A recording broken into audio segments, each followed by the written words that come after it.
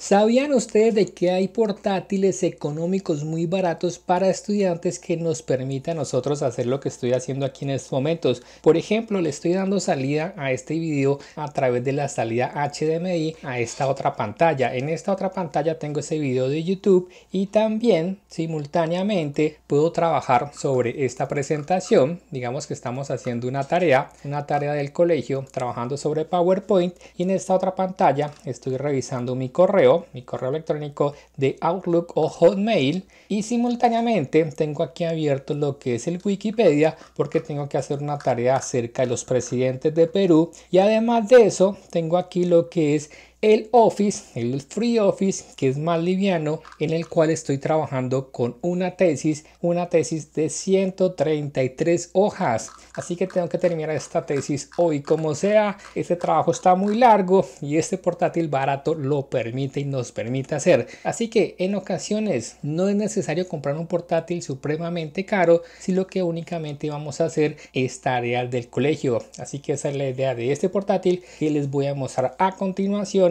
y mientras tanto voy siguiendo aquí viendo mi videito que hice en mi canal personal. Para aquellos que no conozcan y sepan que yo tengo un canal personal se llama Eduard Burgos 2008 que abajo en la descripción les dejo para que se suscriban también a él. Hola que más amigos de youtube bienvenidos nuevamente a su canal. Y aquí volvemos con los portátiles los portátiles. Y en esta ocasión tengo un equipo y me va a llegar también otro posiblemente la otra semana en el momento en que yo suba este video. Este equipo es un portátil barato para estudiantes. Pasa el que al país por lo menos no ingresan estos equipos porque los vendedores más grandes, por ejemplo Falabella, al costo, las grandes superficies, no se atreven o no se arriesgan con marcas como raras como por ejemplo este que se llama el Jumper EZ Books X3 y el que me va a llegar creo que se llama el portátil Coin, yo no sé qué, pero son portátiles económicos para funcionalidad básica como tal. Así que sin tanto preámbulo, sin tanto preámbulo, vamos a destapar palo aquí rápidamente y aquí estaré haciendo unas pruebas, unas pruebas pequeñas de rendimiento, pero unas pruebas exigentes de usabilidad. El uso que le iría a dar cualquier persona que por ejemplo vaya a comprar ese portátil. El precio promedio de este portátil que tengo aquí sobre la mesa, que es económico en Colombia, vale más o menos en promedio, según quien lo esté vendiendo, desde 1.300.000 hasta 1.500.000. Yo lo estoy consiguiendo más barato, así que lo puedo dejar más barato que ese precio, así que quien está interesado nos pueden escribir y con todo gusto los podemos asesorar. Ahora, por ejemplo, en México, este mismo, este mismo portátil está en aproximadamente unos 9.200 pesos mexicanos, en Argentina unos 60 mil pesos argentinos y en Chile aproximadamente unos 240 mil pesos chilenos. Así que pasemos a ver qué viene en la parte de atrás. imagino yo que fuente de poder o adaptador así que este equipo es muy sencillo pero lo interesante de este portátil que por su precio ya viene con Windows licenciado el otro portátil que les digo que también es económico que posiblemente me llegue la otra semana ese portátil llamado el Coin yo no sé qué voy a poner el nombre bien abajo en la descripción o en pantalla ese equipo viene con Linux así que nos toca a nosotros la tarea adicional de instalarle lo que es el sistema operativo mientras que este ya viene con Windows licenciado así que eso también vale la pena destacarlo.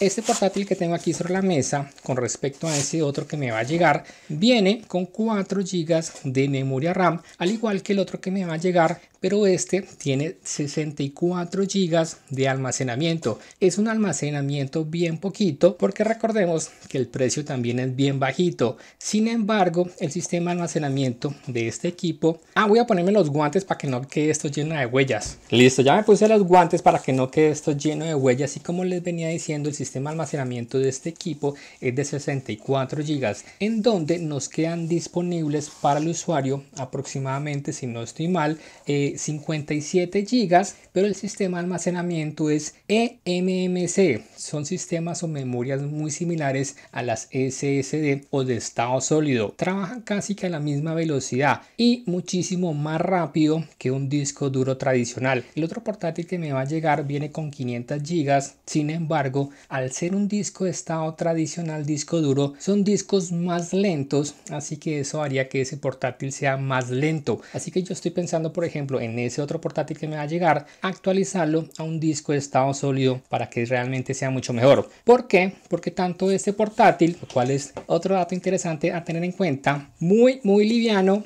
muy muy delgado, así que es ideal para estudiantes, estudiantes que van a trabajar básicamente sobre Office, Excel, PowerPoint, redes sociales o también para aquellos ejecutivos que básicamente tienen que ir al campo y requieren de un, un portátil muy liviano de 13.3 pulgadas. Así que tanto este portátil como el que me va a llegar, ambos utilizan Intel Celeron, con la diferencia de que el procesador de este equipo es el Intel Celeron Apollo Lake, que es el N3350, que puede correr aproximadamente desde 1.1 GHz a 2.4 GHz. Es un procesador de dos núcleos. Así que quitémosle esto encima y lo que me interesa ver es lo siguiente en este portátil, porque como tenemos 64 GB únicamente de almacenamiento, lo interesante es de que se puede expandir con una tarjeta TF aquí en la parte de atrás. Así que ahorita voy a estar destapando esto para ver cómo es que se actualiza o se puede incrementar el almacenamiento de este equipo hasta 256 gigas. Y aquí dice slot SSD así que esto está muy muy interesante. Lo podemos actualizar. Así que bien económico fácil de actualizar.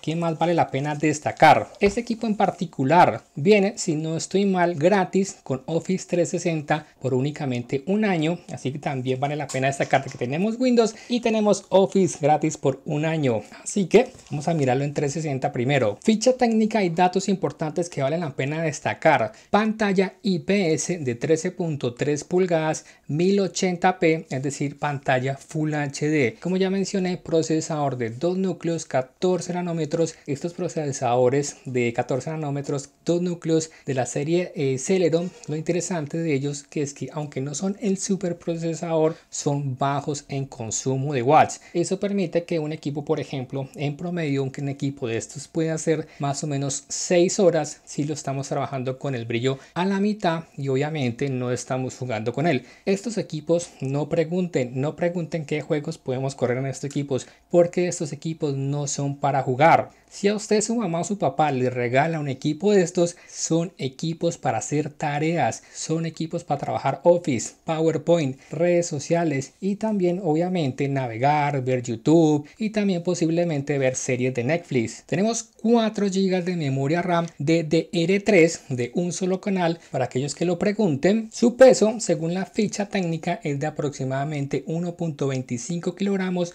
Windows 10 licenciado y también vale la pena destacar, dice la ficha técnica pero aquí lo voy a probar si sí o no. Tenemos Wi-Fi supuestamente doble banda, Bluetooth 4.2, dos puertos USB 3.0, un puerto adicional para micro SD, así que eso nos da almacenamiento adicional, es decir, la trasera que ya les mostré y simplemente podemos dejar otra SD ahí en ese compartimiento también de 256 GB y eso nos daría otros 500 GB en total de almacenamiento. Así que vamos a mirarlo en 360 ahorita sí. Bueno, ahorita sí miremoslo en 360 en más detalle. ¿Qué puertos tenemos utilizables en sus laterales? Comenzando por un puerto para auriculares, este orificio que se ve aquí, creo que en pantalla no se alcanza a ver, pero aquí hay un pequeño dibujito de auriculares 3.5 milímetros, el primer puerto USB tipo 3.0 de alta velocidad y compartimiento para una micro SD. Aquí donde nosotros podríamos mantener nuestros archivos importantes y dejar el sistema de almacenamiento principal de 64 GB del cual realmente nos queda libre 57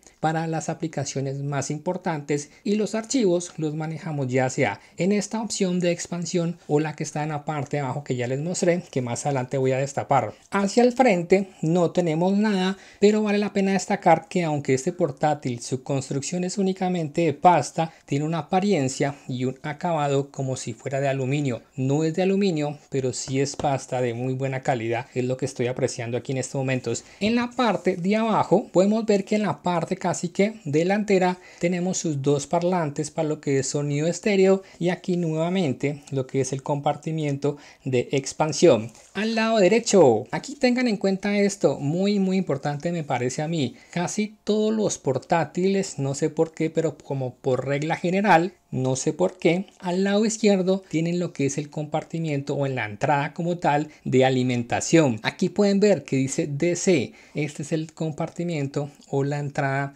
eh, para alimentar, para conectar, para darle energía. Así que no se van a confundir y no vayan a meter o intentar meter el cable de alimentación por el lado izquierdo en donde está la entrada de los auriculares. Ni tampoco intentar meter los auriculares por este roto porque se podrían confundir. Porque no sé por qué la mayoría de los portátiles la alimentación está es al otro lado y los alta gama, los gamers de alta gama en la parte de atrás. Segundo puerto USB que se llama aquí U2 y el otro se llama U1 también 3.0 y tenemos un mini puerto HDMI así que podemos utilizar este portátil para llevar a la universidad también y llevar y mostrar nuestras exposiciones ya que me imagino yo que hoy en día en la mayoría de las universidades los proyectores deben tener HDMI pero les recomiendo que ustedes carguen con su cable porque muy seguramente en la universidad va a haber únicamente el cable HDMI tradicional grande más no el cable pequeño que pasa a grande. Por ningún lado se ve lo que es un sistema de ventilación y la razón es muy simple. Uno tenemos un procesador Celeron que ya les mencioné el N3350 el Apollo Lake el cual es de bajo consumo así que no requiere un sistema de disipación no requiere ventiladores, así que es un portátil silencioso. Y si a eso le sumamos el hecho de que utiliza almacenamiento tipo, tipo, estoy diciendo tipo SSD, porque realmente es EMC, cual es muy similar, es una memoria muy similar a la SSD es un sistema de almacenamiento sólido el cual no genera fricción como los tradicionales discos duros de discos. Así que la generación de calor interna básicamente no requiere ventiladores internos. Así que voy a ponerlo a cargar, pasar por lo que es la configuración y mostrarles a ustedes las primeras pruebas. Pero antes, antes, antes, antes, muy importante, cuando ustedes van a hacer una actualización de un portátil, traten de hacerlo idealmente si la batería está descargada. Y cuando destapen un portátil, lo recomendable es desconectar internamente la batería antes de ustedes comenzar a hacer modificaciones porque podrían ustedes realizar un corto debido a estática o por una mala conexión. Así que voy a destapar aquí primero para que miremos el puerto de expansión. Bueno, estoy viendo que este portátil puede ser muy fácil, muy fácil de destapar. Por tanto, en el canal llamado de tecnología Col, que abajo en la descripción dejo, el enlace de ese canal este es donde yo dejo casi estoy dejando todos los vídeos en donde destapo todos los portátiles que muestro aquí en el canal. Así que vamos a destapar aquí suavemente. Busquemos con qué levantar esta tapita. Destapemos aquí y retiremosla así.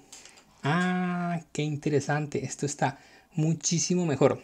Yo pensé les voy a ser sincero, pensé que era básicamente que metíamos aquí una S, una tarjeta S adicional, pero no, aquí metemos realmente es una SSD de las que son pequeñas. Así que por eso es que aquí dice slot SSD y de esa forma nosotros ampliamos el puerto. Y según como estoy viendo aquí, este tipo de puerto que están viendo aquí es tipo SSD pero tipo SATA. Así que muy importante, vale la pena destacar equipo actualizable en lo que es su almacenamiento. Inicialmente lo más fácil que ustedes pueden hacer es incrementar su almacenamiento a través de una tarjeta micro SD en el lateral y luego pueden comprar lo que es esta SSD que son de las pequeñas